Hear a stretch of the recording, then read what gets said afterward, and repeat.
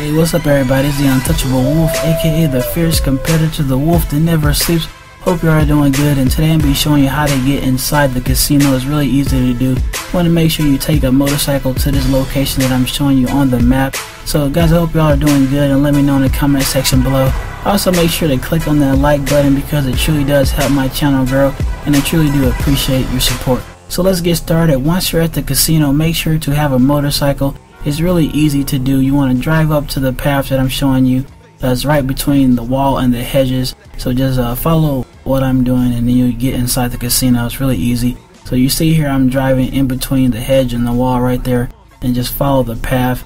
Now it might take a second time to do if you don't drive fast enough but once you're around this wall right here you want to go drive pretty fast into the crease right here and then you will fall off the bike. You see here I didn't drive fast enough so I'm backing up like I said, it might take you a second try to do so. You see here that I'm just backing up and then you want to drive a little bit faster and then you'll crash off and then just wait for a second, don't do anything and you'll be teleported inside the casino.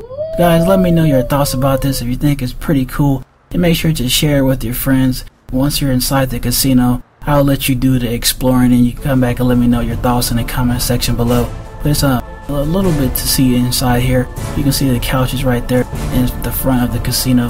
So guys, let me know your thoughts and also make sure to, uh, once you get inside the casino, to throw your fist up in the air because you got inside and also take a picture for your friends and for your crew at the social club website. But guys, make sure to click on that like button if you enjoyed and more wolf videos will be coming soon. I truly do appreciate your support. And remember to throw your fist up in the air once you're inside the casino. It's all about having fun and enjoying life.